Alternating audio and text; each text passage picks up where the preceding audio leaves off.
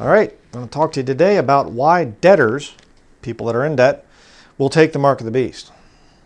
Okay, uh, many years ago with Bible Believers Fellowship, we had our house church a long time ago before I got married. Um, I did a study called Gold and Silver. I think is what it was called. And in that, I got into the thing of money. What is money?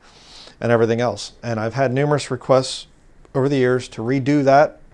And um, been wanting to for a while. But um, one of my little side things that I like to study is uh, economics, um, stock market type of stuff, and whatever else. Uh, that might surprise some people because, you know, kind of a dumb hillbilly in most people's eyes, but I actually do like to study some of that stuff. I like to listen to a lot of the experts out there. I'll name some of them as we go throughout this study. But um, it's an area of interest to me because of the spiritual aspect of it. That's why I'm interested in it. Because the most significant uh, sin in the entire Bible is found in Revelation 13 and Revelation 14, and that is the mark of the beast anybody that has ever studied the Bible, even if you're just secular or whatever else, you know that the most serious condemned, most condemned sin in the entire Bible is taking that mark of the beast. Okay? Um, no man might buy or sell save he that had the mark. Revelation 13 talks about that. All right? If any man take the mark and worship the beast in his image, he gets the wrath of God. Revelation 14 talks about that. So it's very, very significant and also very interesting because this King James Bible is the only English Bible in common usage today that says that the mark would be in the right hand, in the right hand, or in the forehead. And for many, many years, commentators would say, I don't really know why they said in because it doesn't make sense. You can't buy anything with a mark in the right hand or in the forehead. That doesn't make any sense. So it obviously should be should have been translated as on and most new versions will say on or upon. Um, but the King James Bible, translated in 1611, actually got it right because in would imply a implantable microchip. And people are doing that in a lot of other countries and things, and here in America as well. You can get the some kind of a little biochip stuck into your hand or, or digital tattoo, QR code, whatever else kind of a deal, and it can be used to biometrically buy things. Biometric means you're combining a computer chip, some kind of a, a machine, with something biological, namely your flesh. Okay, just to make it very simple. There's a lot of very complicated things we're going to talk about in this study, but I'm going to try to keep it very simple. I'm going to try to explain it in what would be called layman's terms. Okay, and, and I'm by no means an expert. So I'm sure I'm probably going to say some things some people might disagree with or whatever. Okay, but I'm going to show you why I believe what, what was the purpose of creating this system of debt. Right? Obviously, when America was first founded, people would bring themselves over here and a few of their supplies, and then they're basically going to be um, making their wealth from the land. They're going to be surviving and, and struggling to survive. Um, the system of banking, modern system of banking, is only a few hundred years old. You go with the Federal Reserve Bank. It was 1918, I think, is the Federal Reserve Act was done. Um, and the Federal Reserve Bank is kind of funny. It's a joke. It's not federal. It's a private institution, and they have no reserves. Okay, they're lying to you. They're printing money out of thin air. Again, we'll talk about that later. It's not real money. Okay, and that's why when you look at the very first early editions of Federal Reserve notes, it actually says this note is redeemable in lawful money because the U.S. Constitution stipulates nothing but gold and silver coin is to be used in payment of debts, both public and private. So, America, when it was founded, even George Washington, I think, said that the, a man that is, you know, has paper money is, is worse than a slave, something to that effect. When you can print money, then you have a real big problem. That's why all the countries right now are drowning in debt because they've all given up gold and silver as a standard, which is the standard of, of money in the King James Bible, all throughout time, gold and silver coins. Okay, again, we'll talk about that more as we continue. And all these countries start printing money. Printed money is fake. Again, we'll talk about that. But let's look at the scriptures here. Okay, um, 2 Corinthians chapter 4, verse 4 in the King James Bible. All right. This is going to be a Bible study. This is going to be a lot of scripture. This is not a quick, interesting video with a bunch of fancy graphics and scary music and whatever else to, to emotionally really grip you and, and you can subscribe and whatever else. I don't care if you subscribe to my channel or not. I'm not monetized. I don't make money from my videos on YouTube. Uh, this video is to inform you. This is a teaching, Bible preaching and teaching ministry. I'm going to show you stuff from the economy today and how it relates to the King James Bible. Right? And that's why I say get a King James Bible and look at it. Read it. I want you to see these things.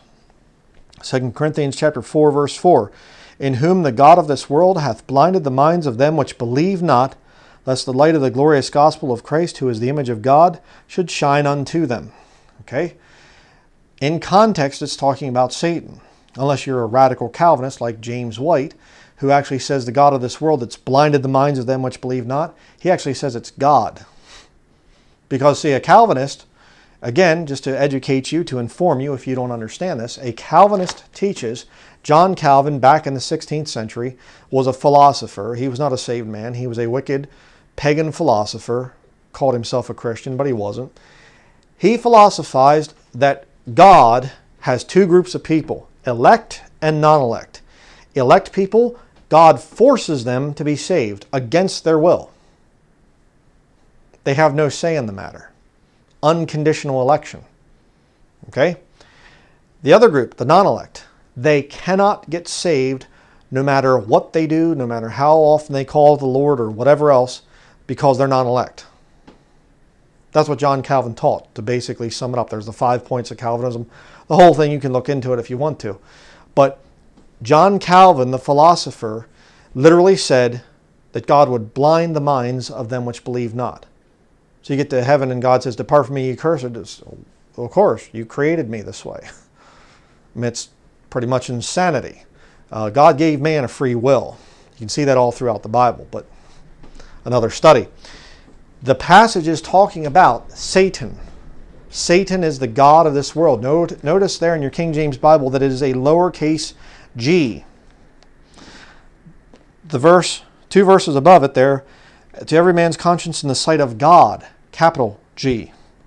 Verse 6, for God, capital G. Down a little bit more, of the glory of God in the face of Jesus Christ. Jesus Christ is God, wholly, completely God. Okay? But you'll see God is capital G. Again, look at the difference there. 2 Corinthians 4 4, the God of this world, it's a lowercase g. It's not talking about God, the Father. Okay? Jesus Christ. It's not talking about Him. They're one and the same being, by the way, the same person, not two separate persons or three separate persons with the Holy Ghost. Please watch those studies as well if you don't understand the, the satanic nature of the Trinity. But here's the question, here's the point. How does Satan, the God of this world, how does he blind the minds of them which believe not? Okay?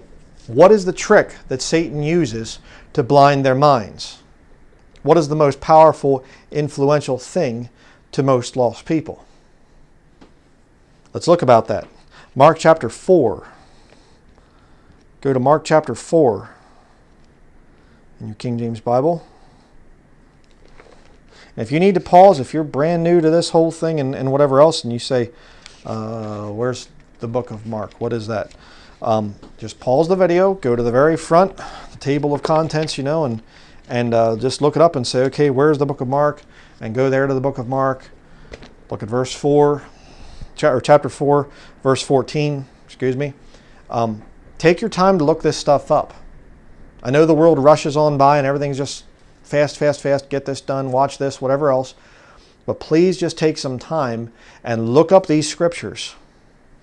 I'm going to show you why that's important. Mark chapter 4, verse 14. The sower soweth the Word. That's me right now. Bible believing, born again preacher, and I am sowing the Word. I'm preaching the Word on a public platform, YouTube, for all the world to see. I'm not hiding behind anything in some little computer voice and they turn on your Bible. You know, no, no. My name is Bryan Denlinger. I live in northern Maine. That's my real name, and that's really where I live. I'm a preacher. I'm not hiding behind some special name or you know, whatever. That's my name. That's who I am. KingJamesVideoMinistries.com is the name of the ministry. Okay? I'm sowing the word to you. Here's the importance. Verse 15. And these are they by the wayside where the word is sown, but when they have heard, Satan cometh immediately and taketh away the word that was sown in their hearts. Uh, hello, YouTube. oh, uh, I'm watching this guy and there's some really neat things. Oh, I should watch that video over there. Uh, 68 Camaro drag racing does uh, the quarter mile in less than 10 seconds. Well, here's one, uh, the goats climbing the side of a, of a rock cliff and, and amazing. And, and well, here's a funny video of a boy biting another boy's finger. And here's what's going on. I'm here trying to sow the word into your, into your heart to make you think about some things. And you get distracted by the world. And the devil comes along and he starts to blind your mind, you see? And he gets you fixated on all a bunch of other stuff. And all of a sudden you say, oh yeah, was that? I was going to watch that video, but yeah, I got a bunch of other stuff to do. My friend just called me on the phone and or just texted me or whatever else. Shut all that stuff up. Okay, just stop all that stuff. Listen. Read along in the scriptures. This is more important than anything else. Verse 16 And these are they likewise which are sown on stony ground, who when they have heard the word immediately receive it with gladness. Oh, this is really good, man. This really makes me think. And have no root in themselves, and so endure but for a time. Afterward, when affliction or persecution ariseth for the word's sake, immediately they are offended. A lot of people play Christian. You'll see that with these atheists. They'll say, I was raised a Christian. I went to church ever since the time I was a child. And then I went off to university and I learned the truth and blah, blah, blah, blah. Um, the word sown into them in their little church building thing or whatever, the vacation Bible school, Sunday school, whatever. And they hear about Jesus, they hear about the Bible, and they might even see some verses of scripture or whatever else, pretend that they're a Christian for a while. And then later on, they have no root, you see. And so later on, they fall away. They quit. Mm-hmm. You see, I'm going to tell you something a little shocking. You know who's behind the church building thing? If you're new, if you've never heard any of this stuff before, there's not one church building in this entire New Testament here. Old Testament, they had the temple, they had the sanctuary, the Jews, God was dealing with them as a nation. Sure, Levitical priesthood and all that other stuff. New Testament, not one person ever went to church. Did you know that? Nobody wears suits and ties. Sunday best. Nobody goes down front for the altar call. Nobody gives 10% of their tithe. All that stuff is far into Scripture. You know who created it? Satan. Why? So he could trap people. So people could come out of it, that whole wicked, corrupt system filled with all the hypocrites, and they could say, Yeah, I used to do that stuff, but not anymore. I don't want anything to do with that stuff. Mm-hmm. Satan traps people with organized religion. This Bible teaches something completely different. You can watch our videos. We got plenty of them on there for free, on here for free. Please study. Verse 18. And these are they which are sown among thorns, such as hear the word, and the cares of the world of this world, and the deceitfulness of riches, and the lusts of other things entering in, choke the word, and becometh unfruitful. Now, here's where it gets very interesting. Okay? The cares of this world. Let me write these out here because this is very, very important. Satan has three ways to blind you. Satan's three step plan, we'll call it.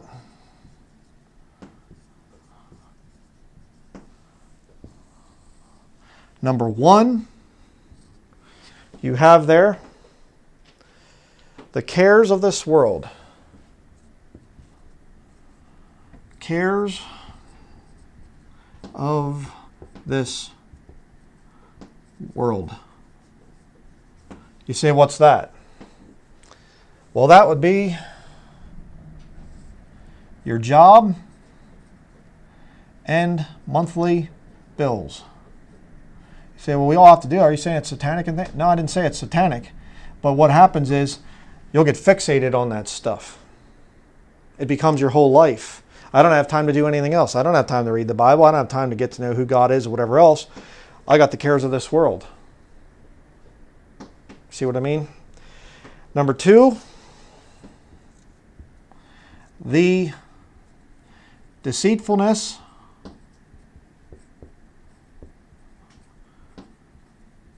of riches.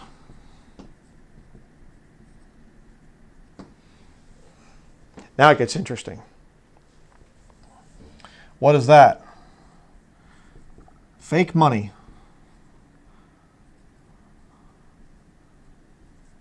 And we'll just say credit. Nah, messed that up. Got ahead of myself there. CRD. and credit. In other words, debt. Okay? Let me just demonstrate that very quickly here. Okay? Right here we have two frauds. Federal Reserve Accounting Unit devices. All right? Now let me just make a point here. What is the difference between these two? It's the same exact size piece of paper.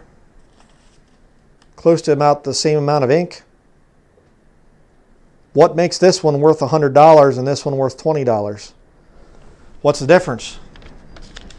Well, what the Federal Reserve prints on them. Now this isn't a very good example of worth because they're both actually pretty much junk, but here you have a quarter and you have a penny. What's the difference between the two? The quarter is bigger than the penny. The quarter is made out of different material than the penny. Did you know that up until I think it was 1964, quarters were made out of silver? 90% silver, I think, 10% copper. Now it's a bunch of other junk metals and things, doesn't even matter. Did you know that up until 1982, pennies were made out of almost pure copper? Now it's zinc with a copper coating on it. You can take a pocket knife. This is a uh, 1985. So yeah, this is a newer penny. You can take a pocket knife and scratch it and you'll see the silver. Do that with an old penny and all you'll see is copper. You can take a, a, bolt cutter and chop one of these in half and you'll see the silver. Take an old one, pre-1982. Actually, they switched in the year 1982. So some 1982 pennies are, are heavier if you weigh them on a gram scale. But this, if you cut it in half pre-1982, it was copper. And nickels during the war were actually made out of silver for a little while. And they made uh, pennies out of steel because copper was so valuable because of the war. But you see, the whole point is metal like that, there's a difference. Right? Now, I'm not going to hold up silver and gold here or anything, but you get silver and gold coins. Um, they're made out of metal. And gold is worth more than silver. Okay? And here's the point.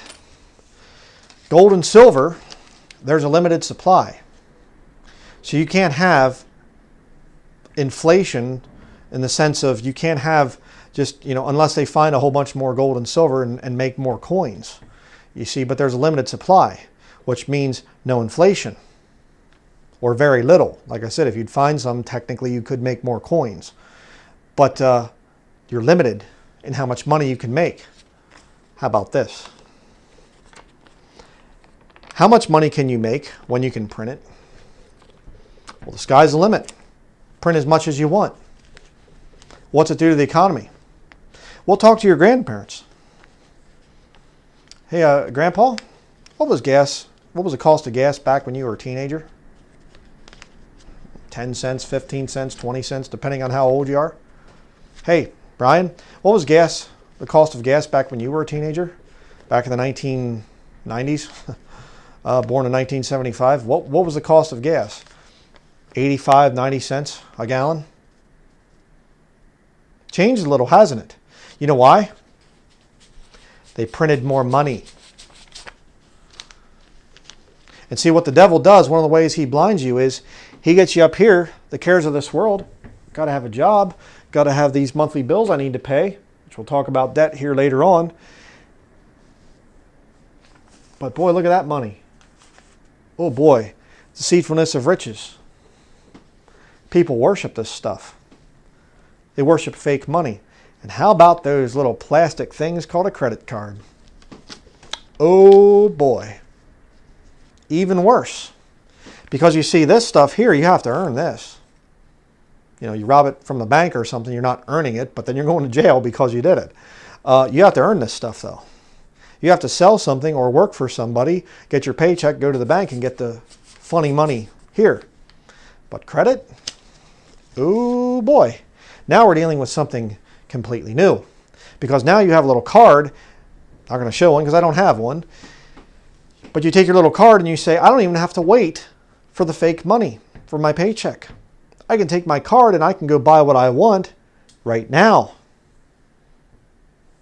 Hey, how about that?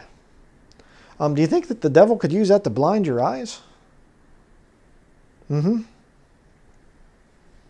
Let me show you the next one. Cares of this world, the deceitfulness of riches. And number three,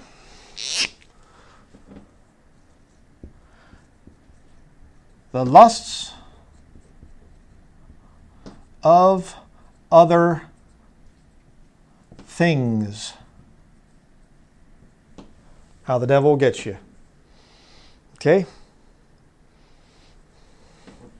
Which the Bible calls covetousness.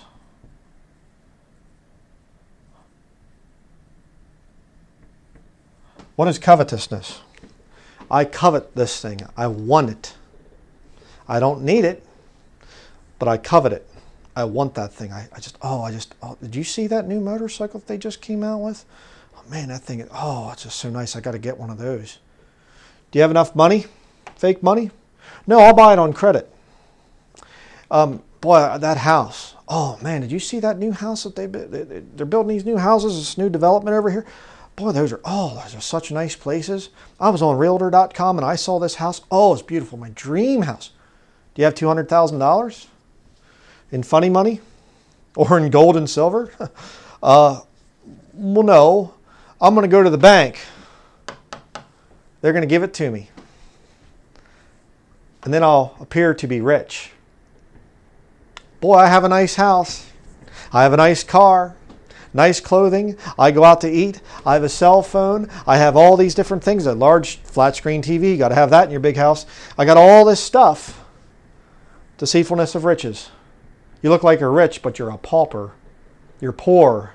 You don't own that stuff. But you have lust of other things come in. What would happen if everybody was reduced to simply what they themselves had paid for?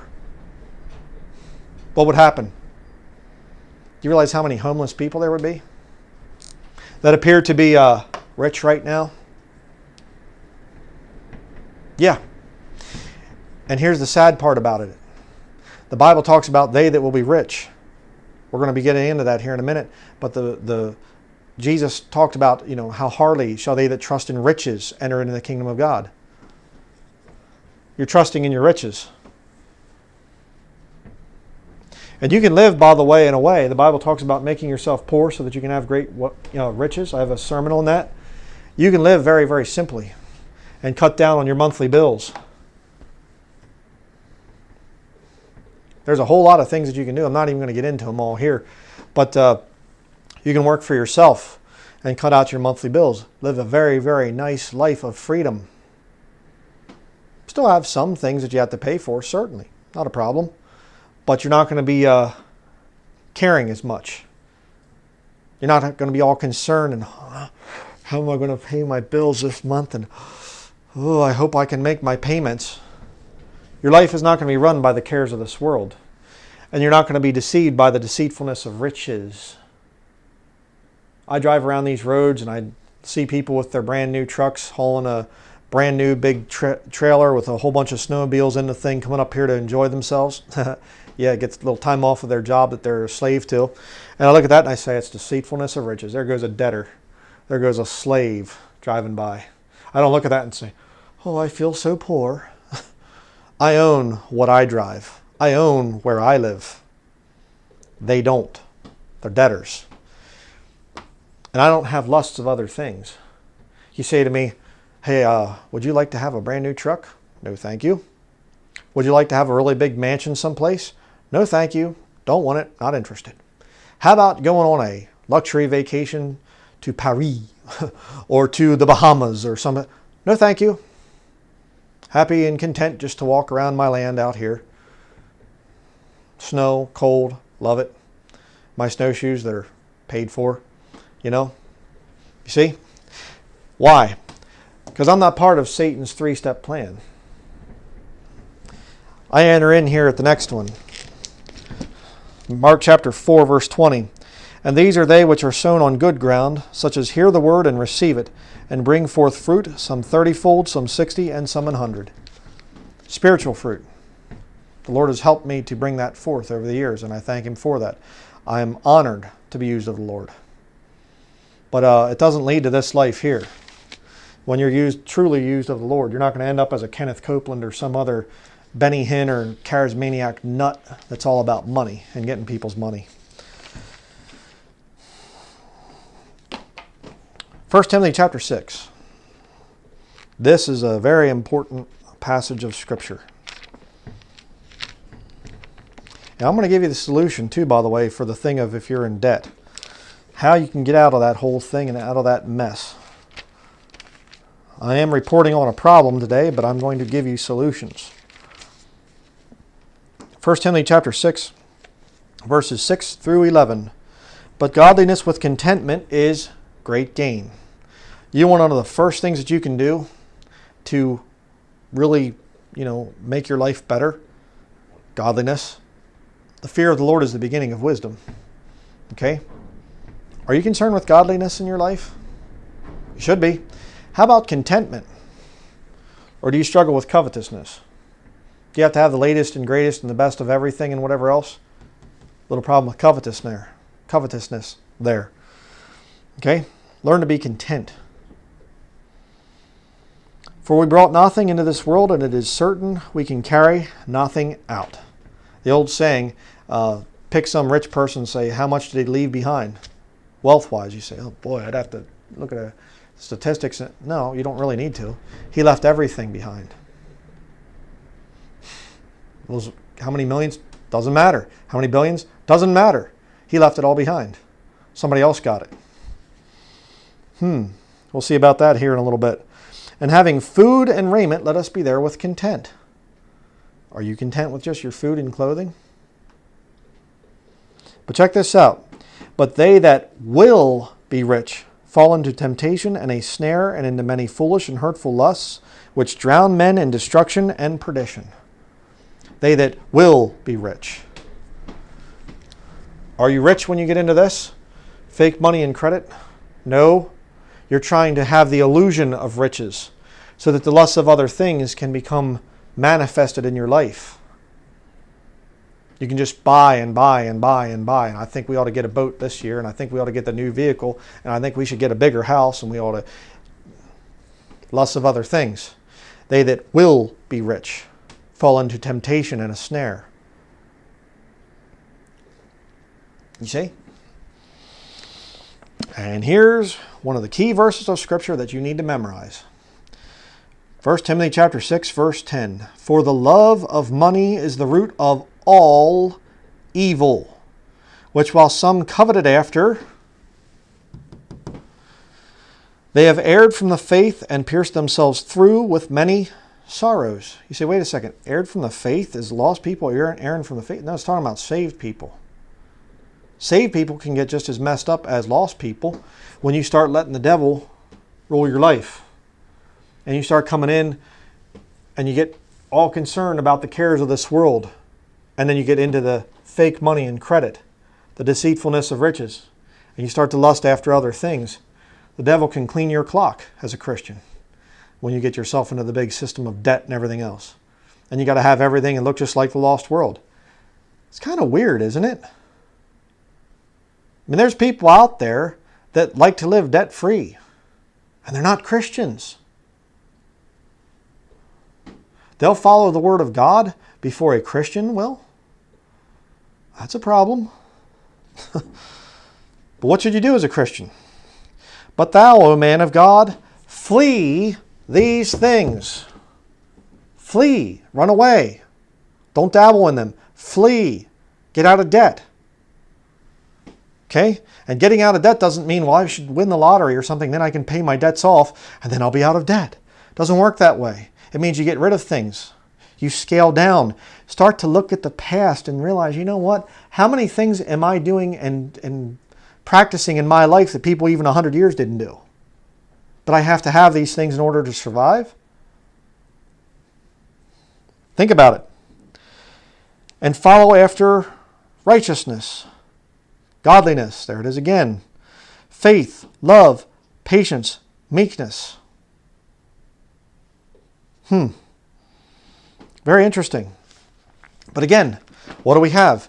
They that will be rich. People that get themselves into debt. They fall into Satan's plan. They are blinded by that stuff. You say, well, you know, I, I think I can do both, though.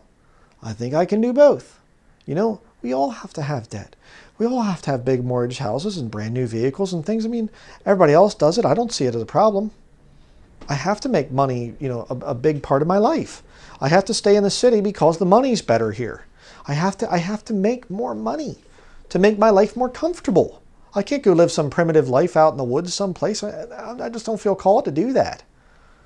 Okay, here's a verse for you. Matthew chapter 6 verse 24.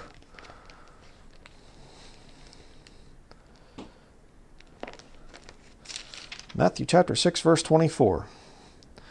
No man can serve two masters. For either he will hate the one and love the other, or else he will hold to the one and despise the other. Ye cannot serve God and mammon. The highest paying jobs in this land require you to keep your mouth shut as a Bible believer. Don't tell me any different. I get so sick and tired of hearing this. I have this big high paying job and things, and we have prayer study. uh, yeah. Mm-hmm. Go to your job and start ripping on the Catholic Church. Go to your job and start saying things, and or more so, you know, make a YouTube channel and start coming out and preaching hard and everything else, and all of a sudden you're going to get that little call into the office here. And, yeah, um, we found out some some of the, the videos that you're doing, and we don't really feel that that best represents our client, you know, company, and, and we're kind of worried about what our clientele might think about that. You know, we're just we're just you know maybe we don't want to have you monetized and, and, and you know some of your superiors are just kind of saying i think you really need to tone this down a little bit. Mm-hmm. yeah. You can't serve god and, and, and mammon. Money is what mammon means there. Don't give me this stuff. Well, well, brother, I, I, you know I used to hand out gospel tracts when I'd go out and I'd do tree work or I'd do whatever other kind, and then I didn't get callbacks. So I, I just kind of quit witnessing on the job, and I, you know, kind of, I, I, got I got a family to provide for. I can't I can't do this preaching stuff and turning people up. God can't provide for you. Well, yeah, yeah, I think He could, but just not on the level that I want. Know what I mean? And oh, but but brother, I have to stay in the system. The system is failing. If you study the economy, the system is falling apart right now. This whole fake system, the whole system of debt and everything else, the stock market's just just going crazy. But you're selling your soul to get that stuff? To get the good 401k and to get the good investments and to get the good return on your, uh, yeah.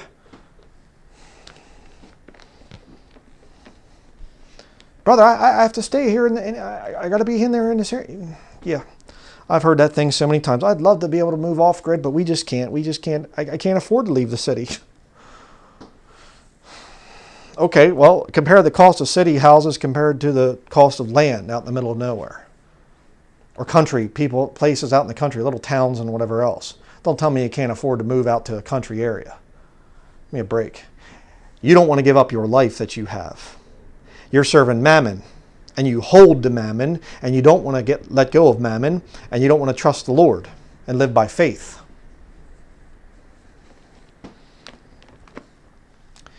Mammon's going to be ripped out of your hands very soon. You can hate me, you can hate the messenger, you can attack me, you can say, well, you just have no grace, you just have no, you're, you're just so mean spirited. It's going to be ripped away from you soon. I'm trying to warn you. Like a prophet in the Old Testament. I'm yelling and saying, Flee from the wrath to come. It's going to fall, it's going to break apart. No nation has ever done these things before. 23 trillion plus dollars of admitted debt. You can't get away with this. America is falling. You say, well, I'll go to Germany. Germany is falling. Well, I'll go to China. China is falling. All the countries are failing right now. Why? Well, because the Bible says that there'd be a mark of the beast in the end times. So all the economies have to fall apart. You say, well, well brother, we're going to be caught up soon. I don't know when the rapture is going to happen, when the resurrection is going to happen. That's the better term for it. I don't know when it's going to happen. We might go through some bad times. Christians went through the Great Depression here in America back in the 1920s, not even 100 years ago. Some of you still have grandparents that were alive back then. Maybe some of you had parents that were still alive back then. Went through it. That remember how bad it was. And they were a lot stronger and more Bible believing than we are today. What could God let us go through? Oh boy. People that were growing gardens, raising their own food. And here we are, generation after generation raised up that the supermarket is our provider.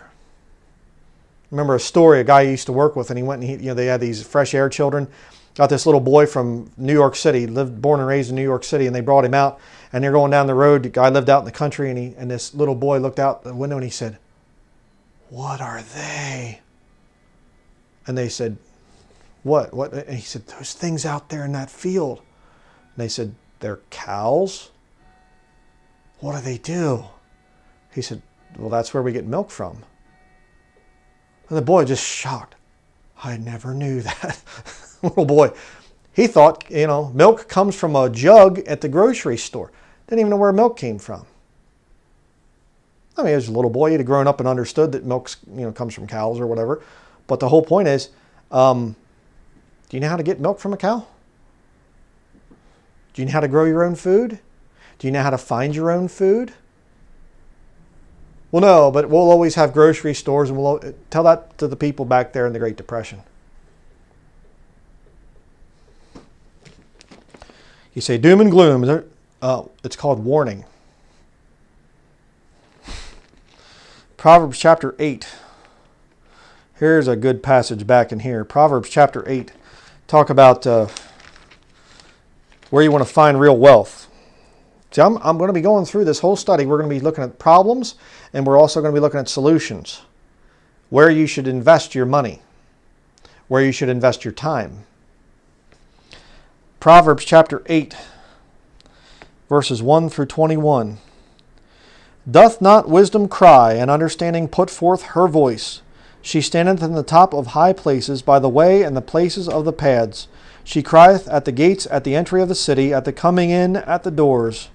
You know, I got to just pause here for a minute. There's going to be a lot of that in this study. Literally, we went up to the town of Presque Isle. I you, you can't really call it a city compared to New York or Los Angeles or something. Little town of Presque Isle. However many thousand residents or whatever, not that many people. But uh, there's a Burger King there for years and years and years. We don't eat out. We don't eat at fast food places, especially. But this thing's been there for years. Closed. What in the world? Went to our office in town and, and uh, my wife checked it out. There were three Burger Kings here in northern Maine. All three are closed. Why? Lack of sales. Well, see, if you don't have wisdom, you look at that and you say, well, okay, well, I think they'll probably come back because the economy is getting better and the stock market's doing good and this is the strongest economy ever because Donald Trump said so. And, you know, whatever. You're not wise. The wise look at that and they say, oh, boy. And as you're driving along and there's another place closed. That place is closing. The, the shopping mall over there, that barely has anybody even in it anymore. Houses aren't being repaired. And, oh boy, God, give me wisdom. I want to know what's going on. The Lord says, uh, the economy's falling apart. Better control your spending. The money that you have, you better start thinking about a good way to invest that. You better get a little bit more self sufficient. You see? wisdom, understanding, knowledge. Or you can just live in your little opium pipe dream and just keep thinking everything's going to get better. Let's continue. Verse 4 Unto you, O men, I call, and my voice is to the sons of man. O ye simple, understand wisdom, and ye fools, be ye of an understanding heart. You don't have to be a rocket scientist. You don't have to be some PhD or whatever else to understand what's going on with the economy. Any fool can look and say, okay, there's a store that once was popular, now the doors are shut. That's bad. That's a, a, a ominous sign of the economy collapsing.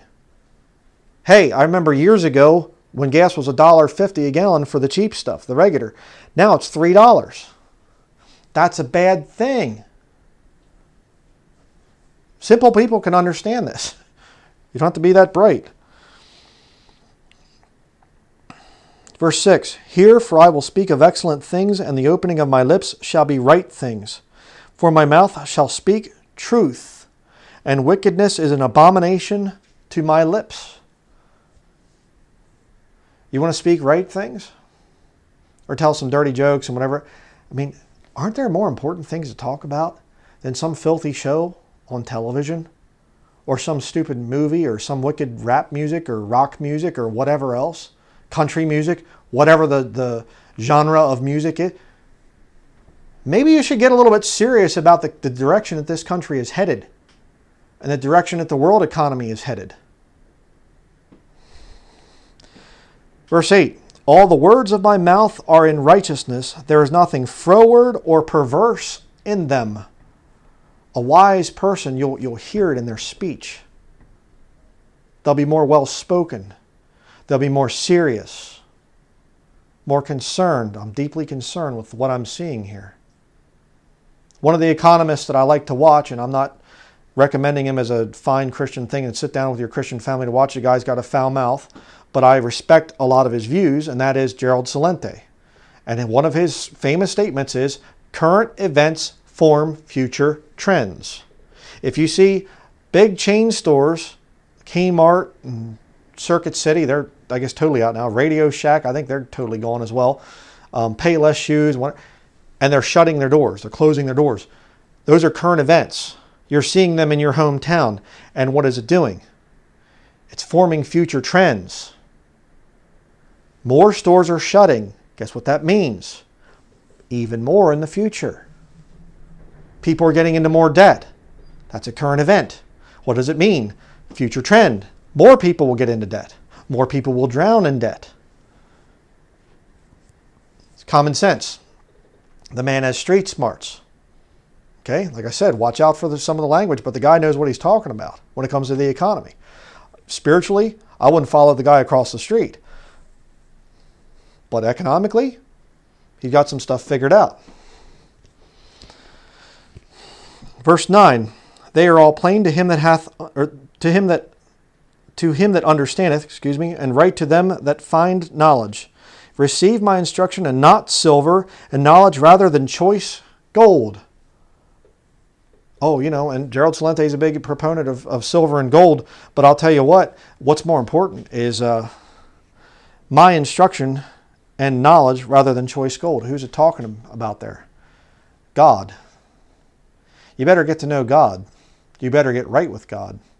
And the knowledge and, and, and wisdom that He gives you is better than silver and gold. That's one of the big mistakes a lot of these guys make. They say, get into gold and silver. And gold and silver is Bible money. Okay? I'm not, I'm not trying to reject that or say it's not or whatever. Gold and silver are useless. They're not useless, but they will be in the future. Okay? That is biblical money. But Satan, with his system here, he is creating a system whereby he is going to phase out gold and silver. That's why gold was taken back around the Great Depression years. I forget the exact year, but gold was confiscated back then, silver in 1964, and even copper in 1982 here in America. And you look at any other country, Canada did it, uh, Mexico did it. I forget the years of, you know, like the UK and everything. They're all taking gold and silver. And ironically, there was a nation uh, that had worthless paper, the Weimar Republic, Germany, post World War I. And what happened? Adolf Hitler came to power, and you know what he did to get the economy back up? He started minting silver, gold and silver coins. And the Germans prospered. Hmm. They don't have them anymore, though. You can bring a country back with gold and silver, but that's not about to happen in the future. See, people look and they say gold and silver. It's it's been there for thousands of years. They're right. Gold and silver can't be messed around with with inflation or whatever else. Can't be faked. They're right. I mean, China tries to fake it with you know making fake coins and stuff. I get that, but you get a, a, a somebody who's an expert looking at coins, thinking uh, this is fake silver or fake gold. But I'm saying, real gold and silver, you can't make it. Okay, you can't print it up. It's real money, very important. But what I'm saying to you is, I'm going to show you in the scriptures, the Bible prophesies a time when that gold and silver is going to be useless. That's important to understand here. And what do you need at that time? Well, uh, receive my instruction and not silver, and knowledge rather than choice gold. That's what you need. God's instruction and his knowledge. Verse 11 For wisdom is better than rubies, and all the things that may be desired are not to be compared to it. Do you ask God for wisdom? I do every day. Every time I pray, God, please give us wisdom. God, please give us wisdom. I'd rather have it than a bunch of jewels sitting around. Verse 12 I, wisdom, dwell with prudence and find out knowledge of witty inventions. The fear of the Lord is to hate evil, pride and arrogancy, and the evil way, and the froward mouth do I hate. You better hate that stuff too. Counsel is mine and sound wisdom. I am understanding, I have strength. By me kings reign and princes decree justice. By me princes rule and nobles, even all the judges of the earth. I love them that love me, and those that seek me early shall find me. Seek knowledge and wisdom and understanding. Seek it early. You don't have to be old to figure that stuff out. Don't follow the course of this world here and get it trapped in Satan's three step plan up here to blind your mind. Seek it early. You say, Well, I'm a teenager. Seek it early. Okay? Make sure you seek it early. Let's continue here. Um, verse 18 Riches and honor are with me, yea, durable riches and righteousness. My fruit is better than gold, yea, than fine gold, and my revenue than choice silver. So there you see it again. Wisdom is better than gold and silver. We'll get into that as we continue. I lead in the way of righteousness in the midst of the paths of judgment that I may cause those that love me to inherit substance, and I will fill their treasures. Hmm. So you can actually have wisdom and understanding and knowledge, and it can actually fill your treasures. And you can actually have substance. Hmm. I wonder what that means. I'm going to show you as we continue with this whole thing. Proverbs chapter 22, you say, Well, I can have all that stuff. I just have to go down to the bank and get out a good loan and and uh, I'll, be all right. You know, we'll be okay. Hey, if I refinance, I can refinance, and that way we can get a, a, a newer truck, and we can get you know a newer house, a, a bigger thing, and and and, and we, I could get dirt bikes for each of the children and four wheelers, and and we can get new Xboxes and, and big screen TVs, and all we got to do is just refinance. Just go to the bank and they'll give me funny money. Well, they won't even give you funny money. They'll give you a number on paper. That's even better. Uh, what happens to you? Proverbs chapter 22, verse 7 The rich ruleth over the poor. See, here's another thing the devil also has people that serve him, and they work for him in the banking system. So those people get rich, false riches. They're not really rich, they're just, you know, bigger, you know, they, they understand the scam of the whole debt thing. And so they'll get you into that, they'll trap you and then they rule over you. How so? And the borrower is servant to the lender. Hey, I can't go on vacation right now. I can't do these things here. Why? I have to keep working at my job and I have all these monthly bills to pay. Or one of my favorites, I have to put my children through college. okay, colleges are going broke and they're going to teach your child how to make money. Think about that one. Okay. Um, if you go and you get yourself into debt, you will be a servant to the lender. to the banker, in other words. That's how the, how the whole system works. Very important to, to not fall for that. But I'm going to show you the example of two very wealthy men in the Bible. Um, the first one is probably one of the wealthiest men that ever lived. Let me show you. In the book of Ecclesiastes, actually, the man who God inspired to write the book of Proverbs was king. He was a king named Solomon. and I'm going to show you the kind of money that this guy had and the kind of power that he had. But first, I'm going to show you what he thought about it. See, normally I'd go and show you the kind of money he had and then later what he thought, but I'm going to show you first what he thought about it. And he goes over some of the wealth here too. But let's read here Ecclesiastes chapter 2, verse 1. I said in mine heart, Go to now, I will prove thee with mirth, therefore enjoy pleasure, and behold, this also is vanity.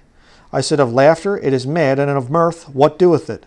I sought in mine heart to give myself unto wine, yet acquainting mine heart with wisdom, and to lay hold on folly, till I might see what was that good for the sons of men, which they should do under the heaven all the days of their life. I made me great works. I builded me houses, I planted me vineyards, I made me gardens and orchards, and I planted trees in them of all kind of fruits. I made me pools of water to water therewith the wood that bringeth forth trees. I got me servants and maidens, and had servants born in my house. Also I had great possessions of great and small cattle, above all that were in Jerusalem before me. I gathered me also silver and gold, see that here in a little bit, and the peculiar treasure of kings and of the provinces. I got me men singers and women singers, and the daughters of the sons of men, as musical instruments, and that of all sorts. So I was great and more and increased more than all that were before me in Jerusalem. Also my wisdom remained with me. He didn't go senile or crazy in the head like a lot of the Hollywood people do. And he had a whole lot more. You look at all that stuff there, he had a whole lot more. I mean, how many how many big celebrities or how many big bankers or whatever else can say that they have men servants and maid servants? Some.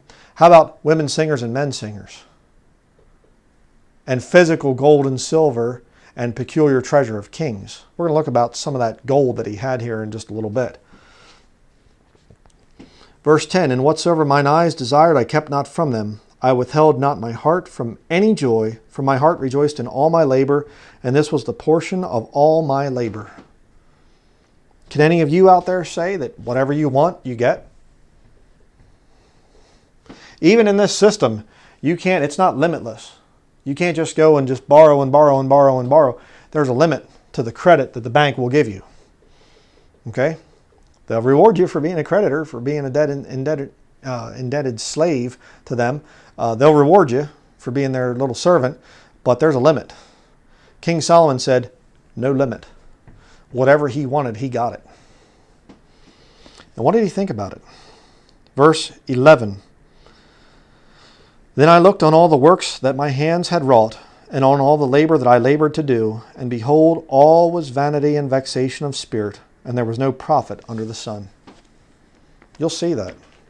You'll see that with some of these wealthy people. They get to the end of their lives and they say, So, what's it like to succeed? And they just say, I don't know. I really don't think I even know anything. I, I just think I kind of wasted my life. And, and you, you'll see that type of thing. Some of them blow their brains out because they get to the top of the ladder of success and they realize there's nothing up here. okay, I'm still the same guy.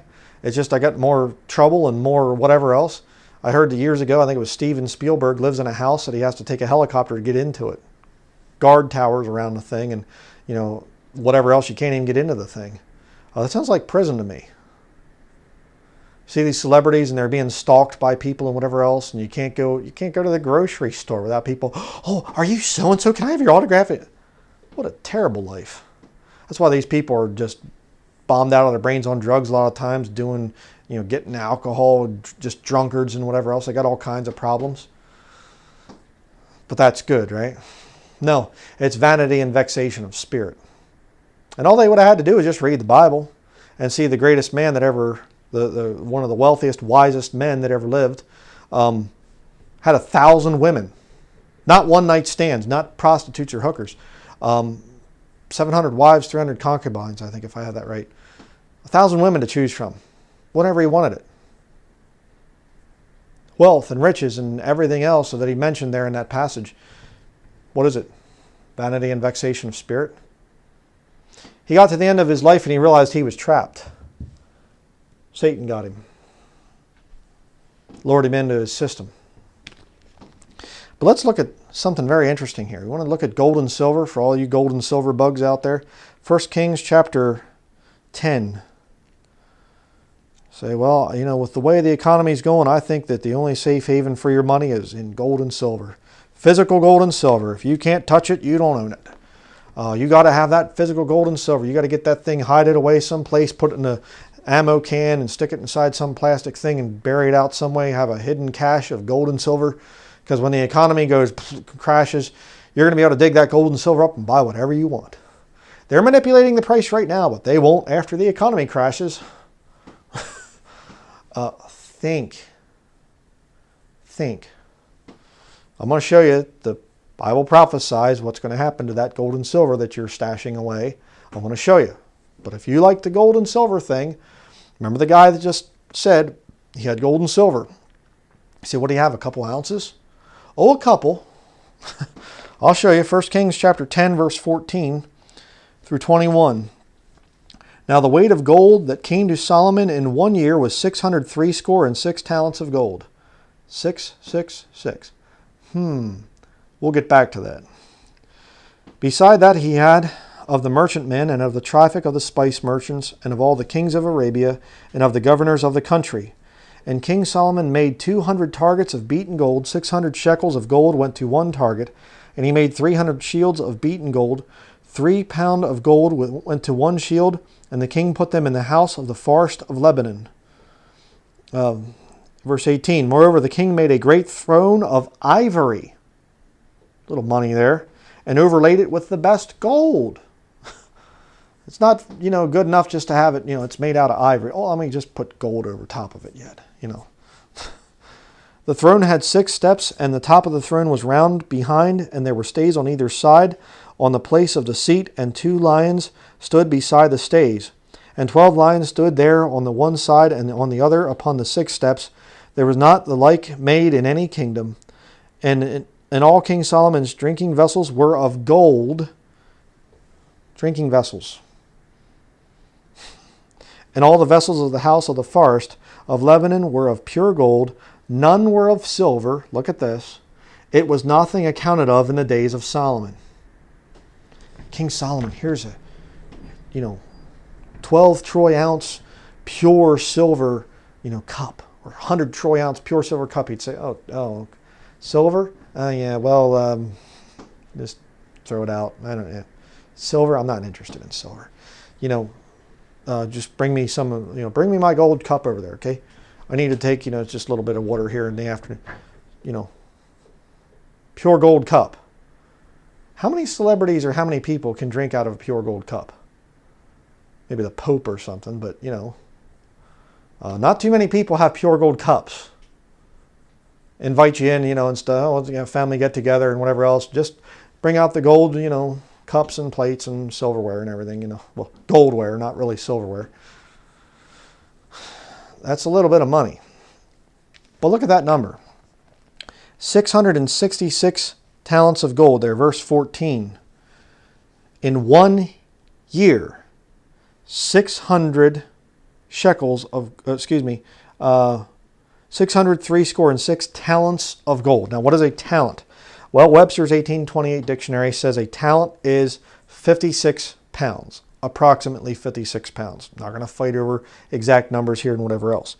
56, okay?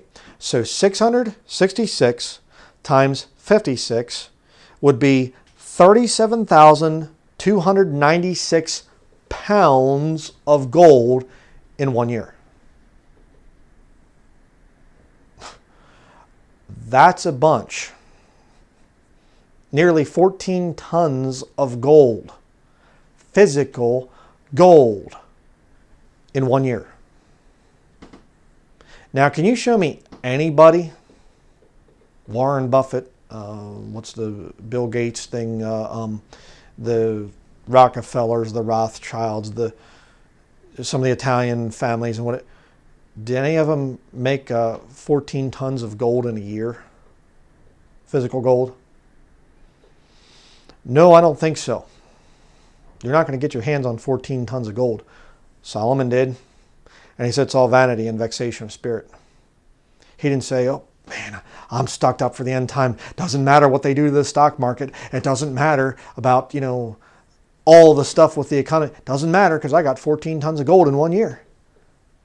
Vanity and vexation of spirit. Hmm.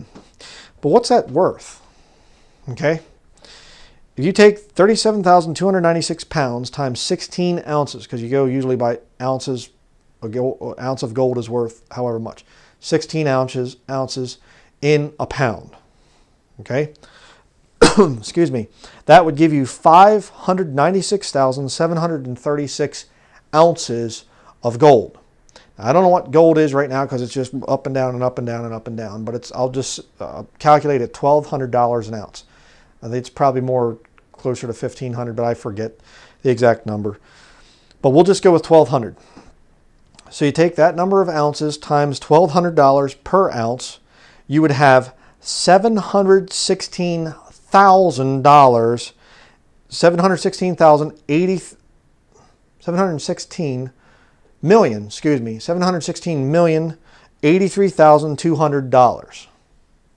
Okay, let me say that again. 716 million $83,200 in one year physical gold.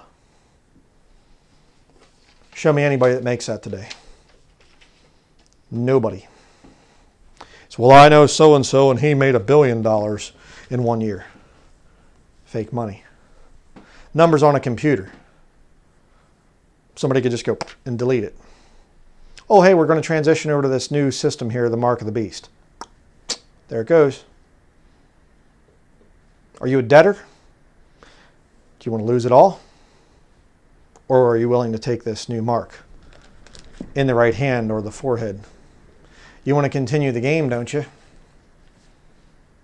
Well, I don't want to lose my mortgaged house and my and my car loaned vehicles and and all my other things and my vacation home in Hawaii and and, and, I, I don't want to lose all that stuff then take the mark. Worship the beast in his image. Simple. You see how it's all lining up? Why is it that you get persecuted if you don't if you're not part of this system here? You go into the bank, you say, Hey, I, I need to borrow some money. They say, we, we need to look at your credit report. You say, Well, I own everything. Oh. Do you have a credit card? No. Do you have a car payment? No. Oh, well, I'm sorry, sir. We can't lend you money. Wait a second. I have everything paid for. I own everything that is mine. I can prove that I have physical assets and I paid for them all with cash. I didn't get into debt to buy my things. And you're not willing to lend me money? The bank will say, no, sorry. Hmm. And by the way, just let me kick banking here while I'm at it. Banking today is what would be called fractional reserve banking. Okay? You take your money in, $120. You take $120 into the bank and you say, hello, Mr. Banker, or usually Mrs. Banker, another issue. You take it in there and you say, I'd like to deposit my $120. Right there you go. And they say, oh, thank you very much here's your little receipt. You know, put the little thing through or whatever. Here's your receipt. Beep, there you go. Here's your receipt. Or maybe you don't even get a receipt. It just goes to your iPhone or whatever else if you're brainless. And here you go. And then they take it and they turn around. They do an about face and they go over to this big place here, this big vault, and they have the door open during the day and they go in and they take your $120 and they stick it in a box with your name on it and it's there until you need it again. No, I don't think so. They put it in, they entered it into the computer, and now what do they do? Okay, the bank is closing, five o'clock. Okay, all right, hey, and they open. If you could, if it was the truth, the bank would disappear and a casino would show up. And then they take your $120 and they say, ah, put it on black number six. You say, what's that? Put it into this stock market. Put it into this investment. So, what about tomorrow? What if we lose big? Well, we'll just keep a little fraction of the reserve that we're supposed to have. We'll just keep enough there that in case Mr. Denlinger comes in and asks for his $120, we can give it to him. That's what they do. So I don't believe that. Okay, go to the bank sometime in the morning and ask for a couple thousand dollars in cash. I'm going to buy something on Craigslist or whatever else. I need a couple thousand dollars. Watch them sweat. They don't have it. They're spending it all the time. And see, they were supposed to keep more in there, but then they got rid of the uh, Glass-Steagall Act, which was passed after the first Great Depression because notice I said first Great Depression too, by the way, because the second one's on the way, but it's going to be even worse. Um, but the Glass-Steagall Act was passed so that they had to keep more money in the bank, overthrown in the 1990s under Bill Clinton. So now they can spend all your money and just keep a little tiny bit in there for you to come in. See, there's a lot of things that happened back in the Great Depression, but the main thing that happened is what's called a run on the banks. People came in and they said, hey, the stock market just crashed. I want my $120. Okay, you get it out of the cash register. There you go, sir. Thank you. Next person comes up. Same thing he said, I want my $120. Oh, um, okay, here, here you go. Next person comes up. $120, same thing going on. Uh, um, well, all we have left is $20. Can you please take that? I want $120. We ran out of money. I'm sorry. What did you do with my money? I want my money. $20, sir. Sorry. The bank is now closed. We're no longer solvent. We don't have your money, in other words, is a, way that you say it there. You put your money in the bank, it's not safe there. They're spending your money. I mean, just crazy. Again, you study this stuff for yourself. I'm not lying. I'm not making this stuff up. It's it's that bad. But let me show you another wealthy man in the Bible and show you something. Solomon mentioned it, but I'm going to show you another man here. Genesis chapter 13, Abram, called later Abraham. And we're going to see another thing that gives us a clue as to what true wealth is.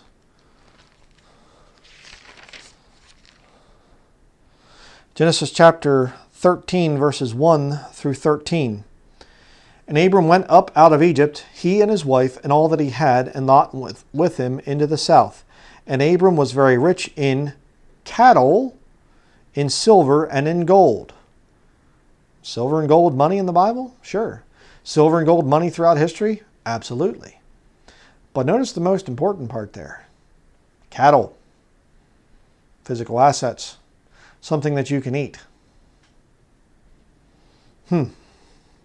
And he went on his journeys from the south even to Bethel, unto the place where his tent had been at the beginning, between Bethel and Hai, unto the place of the altar which he had made there at the first. And there Abram called on the name of the Lord. Good thing to do when you get in trouble, call on the name of the Lord especially for salvation. Verse 5 And Lot also, which went with Abram, had flocks and herds and tents. Hmm. And the land was not able to bear them, that they might dwell together, for their substance was great, so that they could not dwell together. It wasn't just a little milk cow, herds. Hmm. Verse 7 And there was a strife between the herdmen of Abram's cattle and the herdmen of Lot's cattle, and the Canaanite and the Perizzite dwelled then in the land. And Abram said unto Lot, Let there be no strife, I pray thee, between me and thee, and between my herdmen and thy herdmen, for we be brethren. Is not the whole land before thee? Separate thyself, I pray thee, from me. If thou wilt take the left hand, then I will go to the right, or if thou depart to the right hand, then I will go to the left. And Lot lifted up his eyes and beheld all the plain of Jordan, and it was well watered everywhere, before the Lord destroyed Sodom and Gomorrah, even as the garden of the Lord, like the land of Egypt, as thou comest unto Zoar. Then Lot chose him all the plain of Jordan, and Lot journeyed east, and they separated themselves, the one from the other. Okay? Um, see what I'm reading to here. Verse 12 Abram dwelled in the land of Canaan, and Lot pitched, or dwelled in the cities of the plain, and pitched his tent towards Sodom. Problem there. But the men of Sodom were wicked and sinners before the Lord exceedingly. Study the thing what happened there with Sodom and Gomorrah. Sodomites, called today homosexuals. Whole other issue. But here's the point. Great cattle, substance, livestock, food. What did the Bible say earlier? 1 Timothy chapter 6, having food and raiment. Where did they get their raiment from, their clothing from? Uh, sheep, wool. There's all kinds of varieties of sheep, all kinds of varieties of wool. You can get some really interesting types of wool and things and, and stuff from different types of sheep, you know, cashmere and all this different stuff. It's really an interesting study. Um, and they had all that stuff. But what did they look for? Land. Um, do you have enough land that you can go and do things and, and whatever else and have livestock and, and whatever? Land is wealth. You say, no, no, no, you know, numbers in a computer, you know, that's, that's wealth. Uh, no, that's artificial. Okay? But again, you're seeing the thing there of physical possessions. It's not, well, you know, Abram just got his money and whatever else and he just gave it to somebody else and they bet on it and whatever. No, banking's not there. Be very careful about banking. If all of your wealth, if everything that you've earned and whatever else is in the stock market, retirement plans, savings accounts, the bank, you are gambling. You are gambling. Again, study any history, any country that, that, that fell. Venezuela, uh, Argentina, another good example. Russia, um, back years ago. Uh, I think late 1990s or early 2000s, something like that. Study these countries, the Weimar, the Weimar Republic, Zimbabwe with their $100, 200 trillion dollar bill or whatever the thing was. I showed it one of my videos. Nephew gave me one. Study these countries. Banking is the problem. okay? You say, well, well, what should I do? Get all my cash out of the bank? Well, it's better than having it in the bank, okay, first and foremost. But uh, cash is not worth anything, okay? Uh, you get right down to it. Let's just look at this again. As I stated, what's the difference? $100 bill, $20 bill, what's the difference? Well, the ink is slightly different colors, but it's the same paper. Now, all of a sudden, they say, uh, we were get to, you know, Donald Trump comes on TV and he says, um, my fellow Americans, Donald Trump, uh, he comes on TV, he says, My fellow Americans, I am sorry to announce that uh, our beloved country is falling apart. The Federal Reserve is no longer solvent. We have to, it's falling. Um, you have one week to come into the bank and deposit all your Federal Reserve notes, and then they're not going to be worth anything. I'm sorry. I mean, they've been, they've been injecting billions and billions almost on a weekly basis I mean, look at the look at the debt, how it's risen since Trump took office, and it's anybody that would have taken office, Democrat or Republican, doesn't matter. Hillary could be in there too, and she, it'd be the same thing. Politics at the top is controlled by the Vatican. Whatever. But uh, this stuff here, all of a sudden the government declares these things are no longer legitimate. What good is it? Toilet paper? oh, look at the pretty, you know, things. Maybe a collector will buy these someday and remember what America once was. Look at, you know, old treasury bills and things, Confederate bills from the Confederate States. Are they worth anything? If you like to collect antiques, perhaps, but they're not worth uh, what they once were. What about metal? You say, shall I just go out and buy all quarters and pennies? Are these worth anything? Maybe something for scrap metal. but they're not worth anything in reality. Hmm. Um, what about cattle? What about land? What about things that you can actually use? Things that you can eat? Clothing that you can wear? Whatever else. You'd be better off investing in that stuff.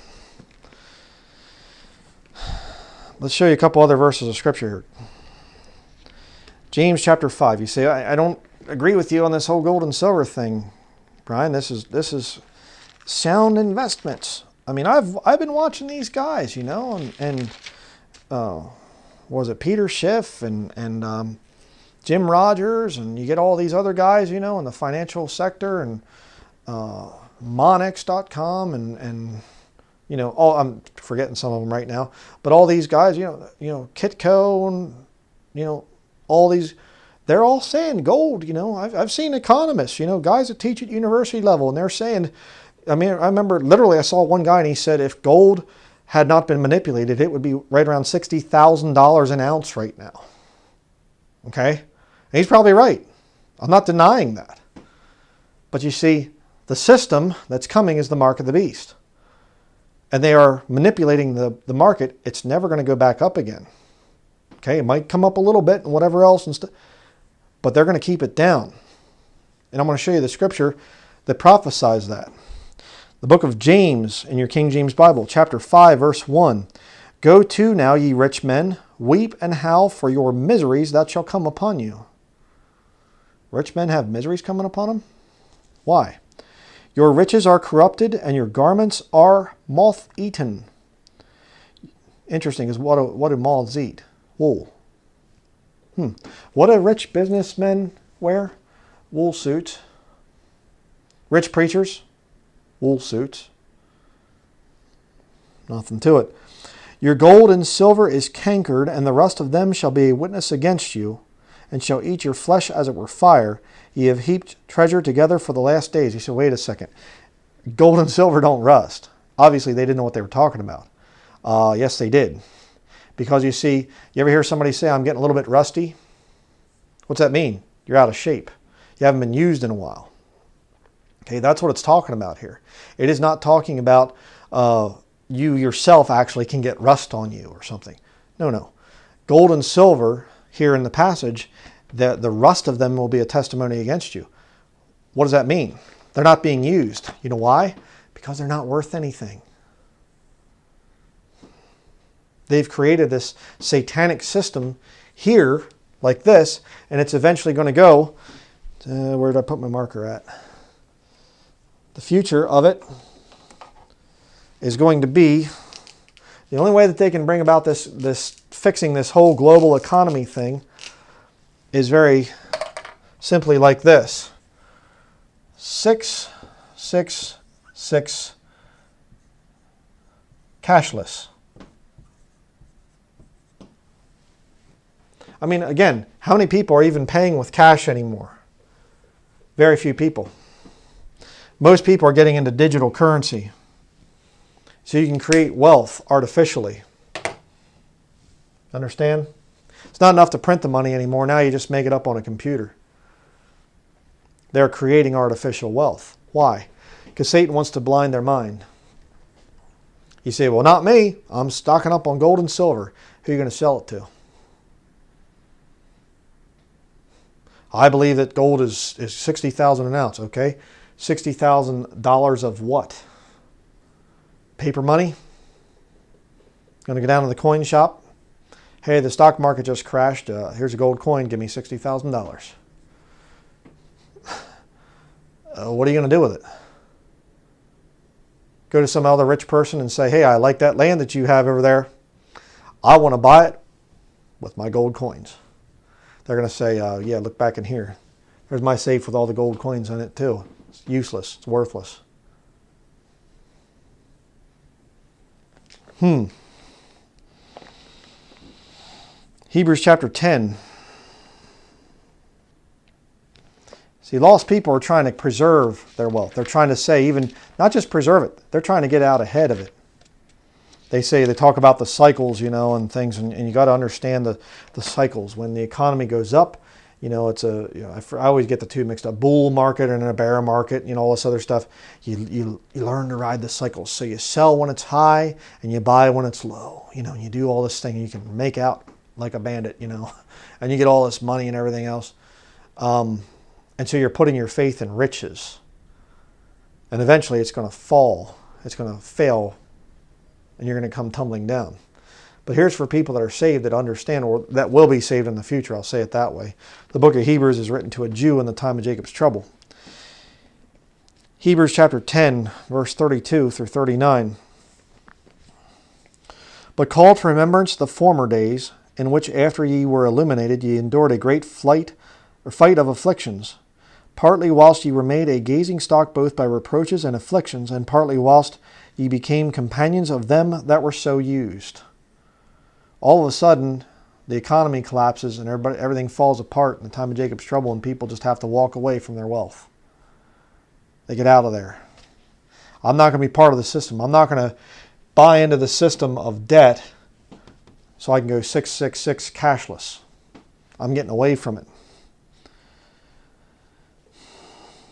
Um, verse 34 For ye had compassion of me and my bonds, and took joyfully the spoiling of your goods, knowing in yourselves that ye have in heaven a better and an enduring substance. I'll show you that here in just a little bit. Cast not away therefore your confidence, which hath great recompense of reward. For ye have need of patience, that after ye have done the will of God, ye might receive the promise. For yet a little while, and he that shall come will come. Second coming of Christ, in other words, and will not tarry. Now the just shall live by faith. Somebody goes into this time of Jacob's trouble in the future when all this stuff falls apart and this system here is implemented. You're going to have to live by faith that the Bible is true. Okay?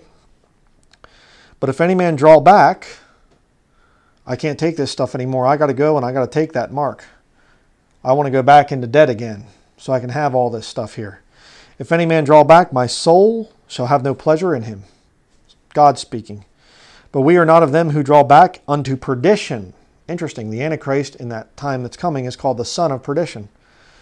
But of them that believe to the saving of the soul. Yeah. You have to look forward there in that time of Jacob's trouble.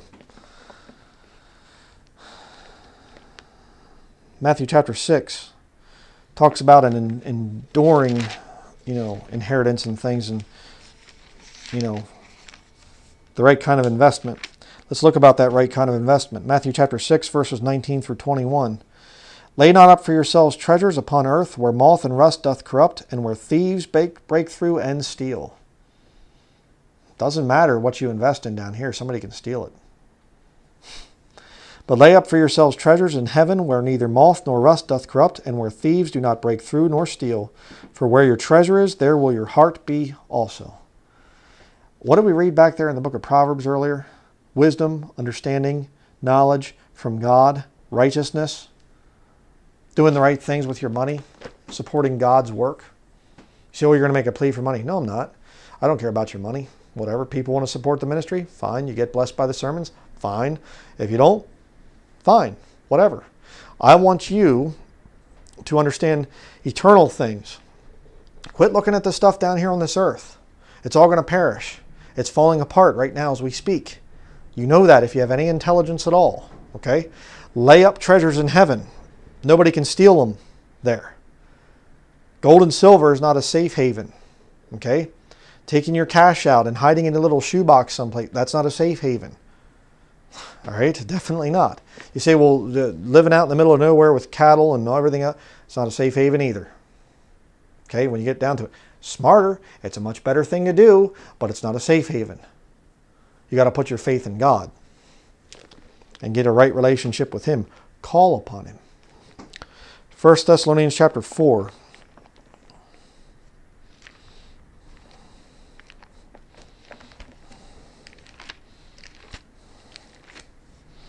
1 Thessalonians chapter 4, beginning in verse 13. But I would not have you to be ignorant, brethren, concerning them which are asleep, that ye sorrow not, even as others which have no hope. Do you have any hope? You better. For if we believe that Jesus died and rose again, even so them also which sleep in Jesus will God bring with him. For this we say unto you by the word of the Lord, that we which are alive and remain unto the coming of the Lord shall not prevent them which are asleep. For the Lord himself shall descend from heaven with a shout, with the voice of the archangel, and with the trump of God, and the dead in Christ shall rise first. Then we which are alive and remain shall be caught up together with them in the clouds to meet the Lord in the air, and so shall we ever be with the Lord. Wherefore, comfort one another with these words. Before this system comes in, the Bible teaches that the body of Christ is going to be leaving. Read Revelation chapter 5 24 elders, great multitude of, of angels, well, 100 million and a few thousand above that. Angels, they're in heaven, and in the, in the resurrection, they are they neither marry nor mar- or given in marriage, but are as the angels of God in heaven. Okay, as the angels of God there. And again, I've talked about this in other studies. Uh, many people call this the pre-trib rapture. It's not actually a biblical term. It's actually it's not rapture. It's resurrection. The resurrection is going to happen. Not one mention of the resurrection in Matthew 24, Mark 13, Luke 17, Luke 21. You got to get the difference there. There is no resurrection when Christ comes back at the second coming. The resurrection happens before that comes. And you know, you're going to get some brainless person saying, no, the res- first resurrection is not until Revelation 20. That's when all the parts of the resurrection have completed. There's multiple parts. Again, read Matthew 28. The Old Testament saints were resurrected when Jesus came up. Okay, the resurrection, there's multiple parts to it. It isn't just in the future. Okay, be doing a study on that in the future here. But the whole point is, what we're seeing here is that there's a comfort that we can know, hey, you know what? I'm laying up treasures in heaven right now, and I'm going to go to where those treasures are at the resurrection, and I'm never going to see this system right here. I don't have to worry about that. Christians are in heaven in Revelation 5. Revelation 6, the Antichrist is unleashed, the first seal. You can have that. Let's keep reading. Chapter 5, verse 1. But of the times and the seasons, brethren, ye have no need that I write unto you. For yourselves know perfectly that the day of the Lord so cometh as a thief in the night. Okay? We understand. If you're saved, you're looking at the world and thinking, it can't be much longer. And you look at lost people and you say, they are clueless. They have no idea. Let's see about that. Verse 3 For when they shall say, notice the they, distinction between ye, you, yourselves, of verses 1 and 2. Verse 3 For when they, the lost world, shall say, Peace and safety, then sudden destruction cometh upon them, as travail upon a woman with child, and they shall not escape. They're not escaping but we, the body of Christ, are. You say, John Nelson Darby, John Nelson Darby, 1830, all this stuff. I have preached for years on this issue of the resurrection. People call it the rapture. I've preached for years and years and years.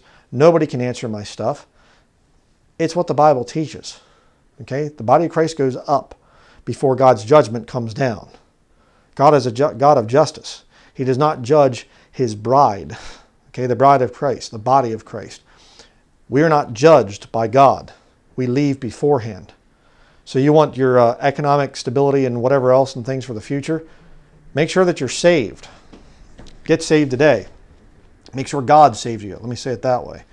Verse 4 But ye, brethren, switches back to saved, are not in darkness, that that day should overtake you as a thief. Ye are all the children of light and the children of the day. We are not of the night nor of darkness. Therefore, let us not sleep, as do others, lost people, but let us watch and be sober. I look at the economy and the way things are going right now. I mean, it could fall, you know, the stock market could crash even before I get this thing uploaded. I look at the economy and I'm looking and saying, okay, they're moving towards the mark of the beast. That's where this thing's going. Okay? But others don't get it. Verse 7 For they that sleep, sleep in the night and they that be drunken are drunken in the night. A bunch of people are asleep. And those that aren't asleep are drunken. They're not getting it. They're staying in debt. They're staying in the system and looking for something better. And the devil's going to give it to them.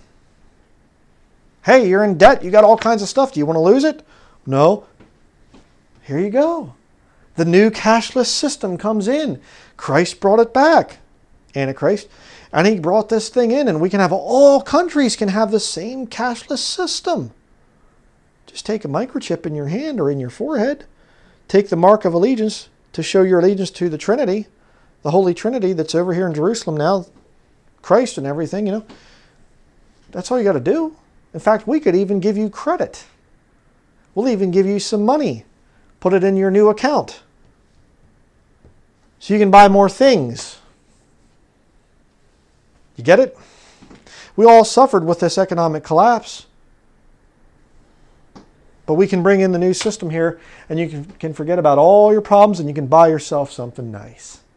Buy your wife that diamond necklace that she's always wanted. Only diamonds are forever. no. Continue. Verse 8 But let us who are of the day be sober, putting on the breastplate of faith and love, and for an helmet the hope of salvation. For God hath not appointed us to wrath, but to obtain salvation by our Lord Jesus Christ. You know what this system is? This whole system here brings God's wrath. you heavily invested in this, then God's wrath is on you. Whatever is highly esteemed among men is an abomination in the sight of God.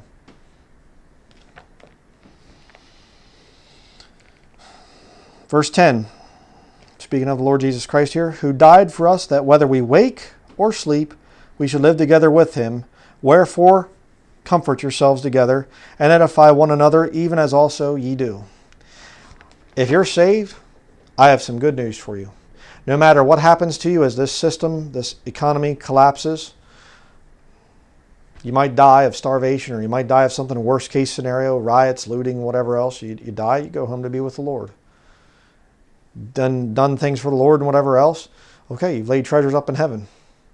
Nobody went up there and stole them from you. You might get home from work sometime and door was kicked in and all your stuff's gone. All your valuables are gone, whatever else. You order something online and whatever else, and the box is there on your front steps, and some package thief comes and steals it. Whatever. You bought a bunch of gold and silver back when silver was 40 something dollars an ounce and gold was 15, 1600 dollars an ounce or something, and now you're looking and you're thinking, ugh, this stuff's not worth anything. And it doesn't look like it's going to get better anytime soon, even though the, the economist guys are continually saying it's going to. Um, put your money where you, it should be, you know, spiritually. Get that wisdom and understanding and knowledge. Well, you say, ah, not for me. I believe in the system. I believe things are going to work out just fine. Okay, I'm going to show you your, your future. Back to the book of Isaiah, chapter 24. You want to talk about prophet of gloom and doom and whatever else? Let me show you the future of this world. If you're heavily invested in this system here and you believe in what's coming here, here's your future. Isaiah chapter 24, verses 1 through 12. Behold, the Lord maketh the earth empty, and maketh it waste, and turneth it upside down, and scattereth abroad the inhabitants thereof. And it shall be as with the people, so with the priest as with the servant, so with his master. As with the maid, so with her mistress. As with the buyer, so with the seller. As with the lender, so with the borrower. Hmm. As with the taker of usury, so with the giver of usury to him. You're a Wall Street banker. Time of Jacob's trouble, you're going to be on the street just the same as the guy that you used to rob. No longer rich ruling over the poor. Everybody's destroyed. Why? Because this system's not going to work very long. See, again, uh, just understanding basic, you know, economics. They bring in some kind of a cashless system that's worldwide, that's based on just digital currency and whatever else. You can't have money last very long without gold and silver backing. Because you can't just keep printing into the moon. You, you keep printing money and money and money and money, it leads to hyperinflation. You say, well, if we get all the countries to agree on this thing, it's still not going to last very long. That's why the time of Jacob's trouble lasts for seven years and fails. And it's not even a full seven years of the thing going good. It's only a few years. The thing's going to fail, and it's all going to be people of all different walks of life rich and poor, free and bond, the whole deal. They're all going to be on the same level. They're all going to be struggling.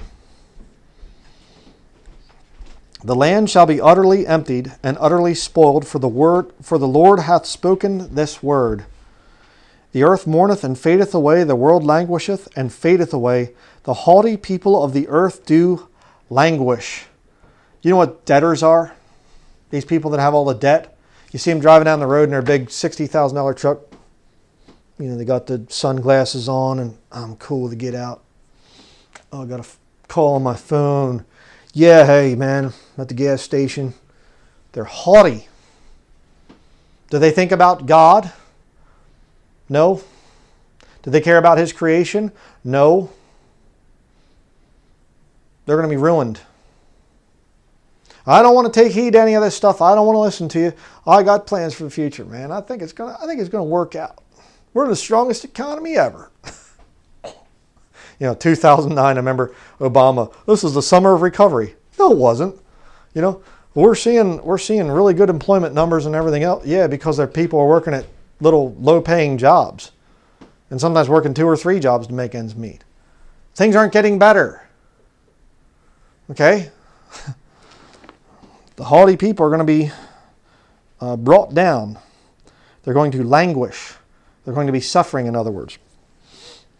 Verse 5 The earth, the earth also is defiled under the inhabitants thereof because they have transgressed the laws, changed the ordinance, broken the everlasting covenant.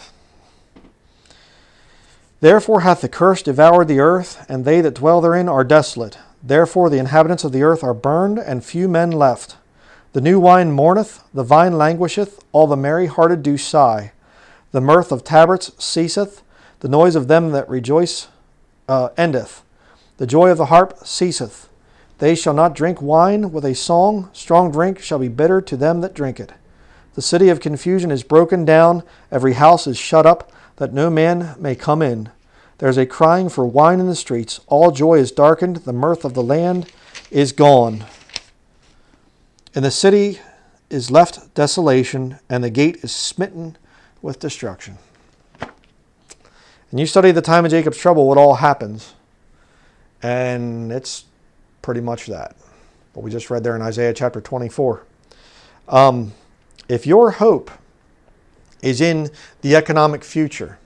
If you're storing all this gold and silver and saying there's going to be a transfer of wealth, everything is going to get better for me, the economy is going to tank, the bubble's going to burst, the the uh, subprime mortgage bubble is going to burst, and we're going to have I'm going to have so much money because my gold is going to go from 1,200 an ounce to to at least 10,000, maybe 2,000, three, probably 10,000 an ounce, and so I'm going to have oh, I'm just going to be wealthy. I'm going to have all this money. I mean, they're manipulating the market right now, and they have been for years with gold and silver, but in the future, it's going to change. You're foolish. You're foolish. You say, well, I've moved off grid and I have I am self-sustaining and all this other stuff. Okay, that's good. That's good. I support that. Okay, um, that's a smart thing to do. Uh, have real physical wealth, real physical assets, things that you can go and do and eat and whatever else, and you can take care of yourself. I'm all for that. But if that's all you have and you don't have a personal relationship with Jesus Christ, it's going to fall apart for you too. Um, my belief, what I did is I looked and I looked at this world and a long time ago and I said, you know what? It's pointless saving, just going out and breaking my neck to get this useless paper. Cares of the world there. Let me get this job that's, I'm going to work harder and harder and harder and harder to get the best job so I can get more monthly bills. Let me go to college so I can get a good job so I can have more monthly bills. That's brilliant. And then I can get into the deceitfulness of riches. It would take me years to get $200,000, but if I have a good job and can prove that I have lots of monthly bills, so I have good credit, then I can get I can get more fake money, more credit, and more debt. And then I can get the lusts of other things coming in. And if the economy collapses, which it, they always do, they always have throughout all history. I mean, no nation's ever been in the kind of debt that America's in right now, but you know, just kind of forget that. I think China's actually ahead of us right now, but if, if something fails here, they'll come up with something new. Desolation, destruction is coming. And when you realize that, you say, uh, God? Uh, God, can you please help me? Things aren't looking so good. And you hear about the truth that when you get saved, God might not spare you from all the bad things that the world does, but God will spare you from His judgment. We're not appointed unto His wrath, the Bible says in 1 Thessalonians chapter 5. We read that, that earlier. I'm not appointed to God's wrath. See, God's going to judge the world with this system right here. But you don't have to go through it. I'm not going to. I know that the day is going to come when the Lord says, okay, you might see some bad stuff with the economy collapsing and things like people did in the first Great Depression. But you know what? When my system, when I put this whole system to an end, essentially up here, this current thing with the fractional reserve banking and all the stuff we have, and the, Lord allows this thing to be brought in, the body of Christ is gone before it shows up. No Christian even has to worry about taking the mark of the beast because they're going to be up in heaven before it comes. You say, well, that's a lie. I've preached so many years on this stuff. You're a child, okay? If you think that the quote unquote pre-trib rapture is not true and whatever else, you are a child in understanding. Let me just tell you flat out. I've preached for years on it. I bring out videos offering challenges to post-tribbers. They can't answer it. Okay? And I've never once quoted from Darby or C.I. Scofield or any of the others.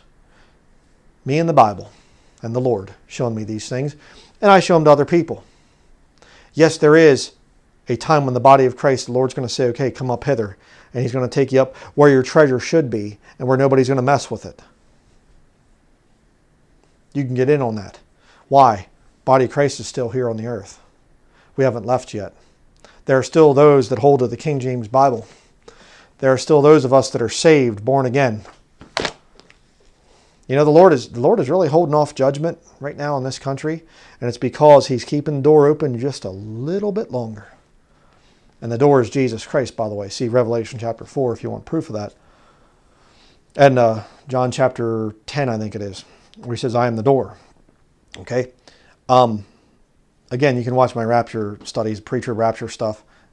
Properly, it's actually the resurrection, the catching up of the body of Christ before the time of Jacob's trouble. But the Lord is keeping the door open. All right? You still have time to get out of what's coming right here. And now let me just give you some practical advice here in closing. Um, for those of you out there that are saved, you know you're going to be caught up time of Jacob's trouble and whatever else. You say, well, what should we do about our money situation, brother? We're seeing things are happening and it's not looking so good. Yeah, it's not. It's looking pretty bad. Okay, if I could be zapped back in time 100 years ago and say to the people back then, um, the stock market's going to crash and you're going to enter a time called the Great Depression. Okay, your gold's going to be taken away from you by Franklin Delano Roosevelt, and then silver by uh, uh, what was the guy? Can't think of his name right now. My brain is. Um, I cannot think of his name. The vice president of John F. Kennedy, uh, Johnson. Okay, and then under Reagan, the copper went away. So, yeah, good. Um, but if I could tell the people back then what advice would I have given them to prepare for that stock market crash and Great Depression? Well, I would have said, don't have money in the bank. Okay? Um, you be your own bank. I know that there's some some guys out there, some of the economist guys that I've I've watched and whatever else.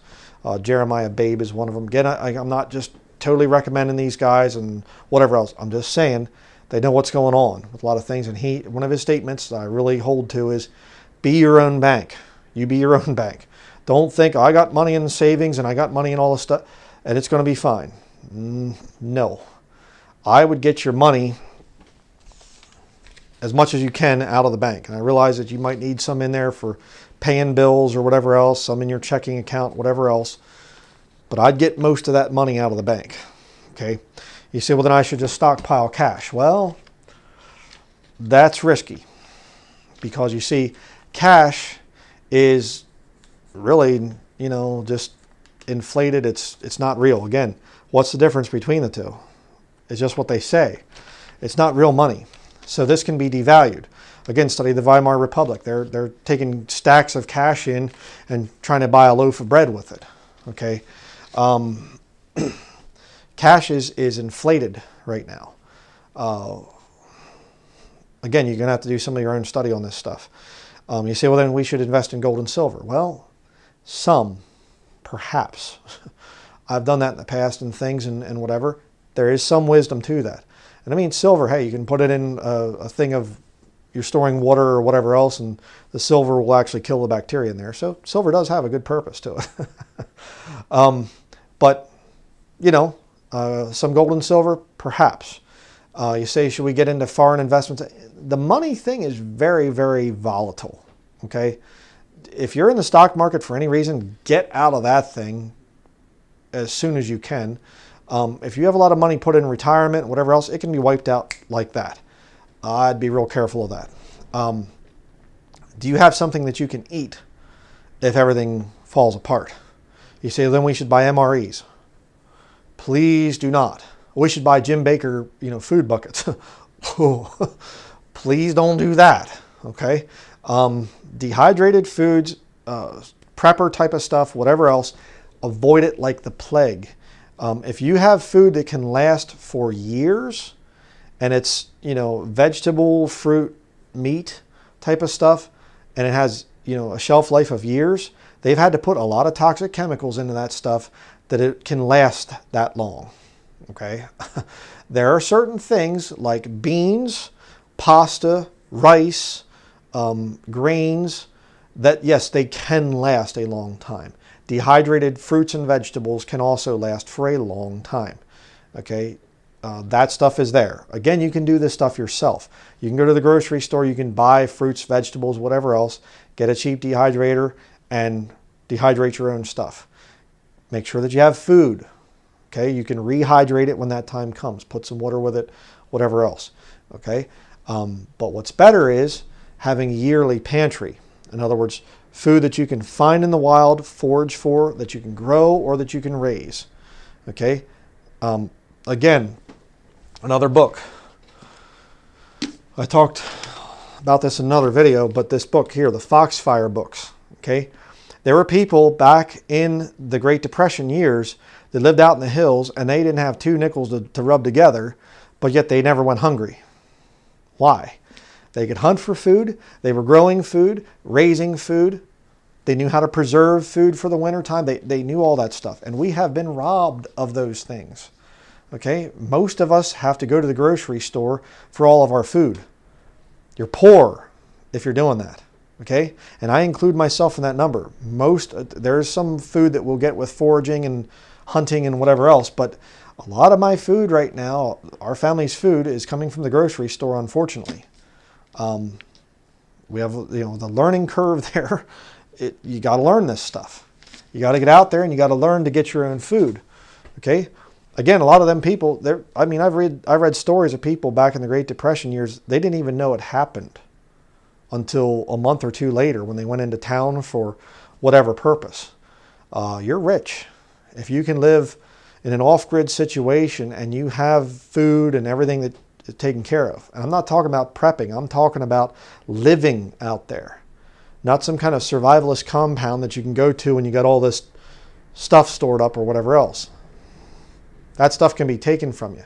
You need to be able to learn how to get food from off the land. Okay? Trust in God. Again, but if you're in a bad situation, if you're downtown some city somewhere and you see what's coming, you say, well, Lord's going to take me out of here. The Lord's going to catch us up. Maybe he will, maybe he won't. Get some common sense there. Okay? Um, we, as a family, almost fell into the system right here getting a mortgage. And the Lord said no to that. And we tried. We looked into it and everything else. And found some, some bare land, nothing on it, and no electricity or whatever else, and put an offer in, and boom, we got it. And I am thankful that we did because it's paid for. Not worth a whole lot of money, but you know what? It's worth a lot to us because of the clean air and because of the food that we can get off of our own land here and the, the just the beauty of being out in God's creation and the low stress environment and everything else. I'm very happy to be here things fall apart, we're going to be very happy to be here. okay? And I mean, read the Bible. Wars, rumors of wars, pestilence, disease, all this other stuff, all this talk of coronavirus, and they're going to forcibly vaccinate, and they're going to this, and they're going to that. You see? Look at these things. You say, oh, oh I, I can't get out of where I'm at. I can't do this and I can't do that. Okay, store up your treasures in heaven. Make sure that you're supporting good ministries if you're not in ministry yourself. Um, and I don't just mean money there. I'm saying, you know, pray. Put some put some uh, time in to pray for good preachers, good ministries. I covet your prayers. I'd rather have prayer than money any day of the week. Any day of the week. Um, times are getting rough. Spiritual attacks are just ferocious sometimes. I need the prayers of God's people more than I need any kind of money please pray for us. Um, that's very, very important. Don't give your money to, to stupid ministries that use new versions of the Bible and that have church buildings with big mortgages to pay off. Please don't do that. That's a waste of money. You're not laying up treasures in heaven, you're wasting money. But um, there's a lot of different things that you can do. Again, if you're a young person, one of the best investments that you can make books, paper books. Did you hear me? I said paper books. Don't get your e-books and all this other stuff. This thing works if the power goes out. Um, it works while you're going someplace. You don't lose reception and you can't get the, you know, I'm only getting four bars or I only got two bars here and, my online ebook doesn't work. no, I, I can't get into the website to look at the PDF file. It works all the time. You can put bookmarks in it so that you remember where you were reading. You can highlight it. And then you put it on your shelf when you're done so that in the future you say, oh, that's right. I, they had a thing in there about making how to build a log cabin. Let me see how to build that log cabin. And, and yeah, there it is. You see? Get some good self-reliant books. Learn how learn some skills. Learn how to make things. Learn how to go out and pick wild berries. Learn how to fish. Learn how to hunt. Get a little garden space. Take some of that money out of the bank and put it into things like dried beans or noodles or grains or things like that, things that don't perish. Okay? Water purifying. I mean, I, know Peter Ruckman had a, a, study years and years ago called The Coming Stock Market Crash, and he was giving a lot of this advice and whatever else. Um, it's something you need to think about. Okay? There's a lot in the scriptures. It's not just all spiritual things and just, you know, oh, God will take care of everything. God gives you common sense too. Okay?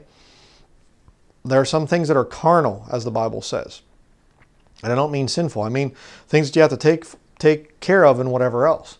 If you're a man, you have to provide for your own. That's very important. Um, another one that I have to mention, do you have a means of protection? Can you protect your loved ones? You say, well, I'm in the UK, I can't have a gun. Um, okay, can you have other means of protection?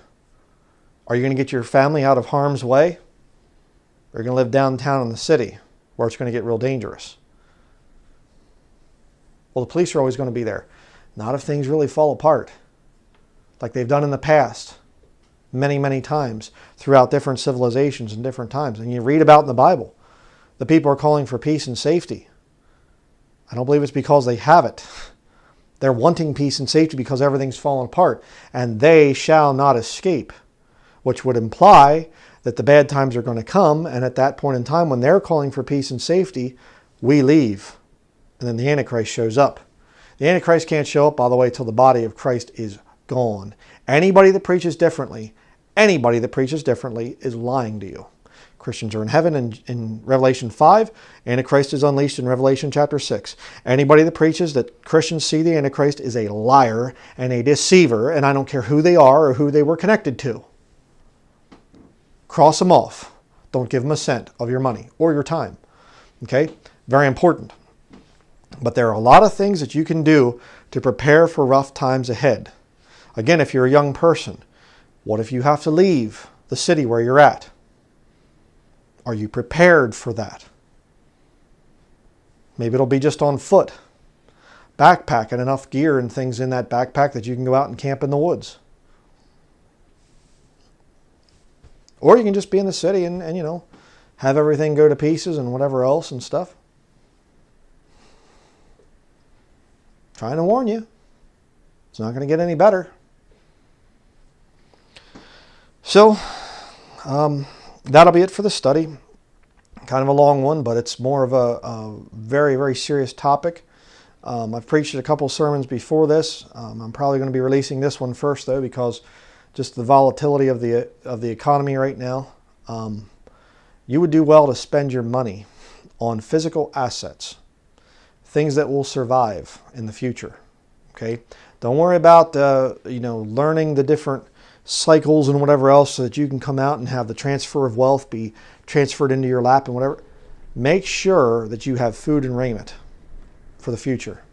Make sure that you're going to be able to help other people, those that are worth it. And by the way, let me just say this. okay, you you get out and you have your place and whatever else, and you and you know you have good food and whatever uh, you know.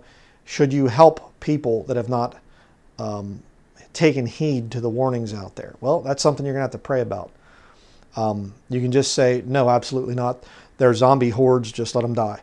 You can do that, or you can say, yeah, I'll help everybody, but neither one is really smart. Okay, it's going to have to be on a case by case basis. Okay, um, I'm not going to go through all the different cases, what could happen, and how this could be. You're just going to have to pray about that stuff. But you're going to have to be real careful with that. Um, there's going to have to be there's to be some rough times ahead. Okay, and I just need to warn you about that. So please pray fervently. If you're lost and you made it the whole way through this thing, understand that uh, things are going to get real bad.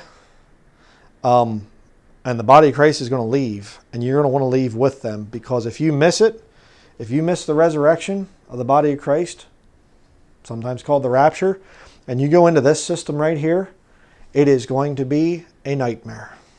And all these debtors that are out there, all these haughty, wicked people that think that they're rich, fallen for the deceitfulness of riches, that are blinded by Satan, they're going to go right into this time here. They're going to take that mark of the beast right there, and they are going to be damned to hell forever. No, well, okay, I made a mistake. I shouldn't have. Uh uh This is the only thing in the Bible that once you do it, the, the first time you do it, you cannot say, hey, I'm, I'm sorry. I'm sorry. God, please forgive me. Wait, I did that. I, I did something wrong. No.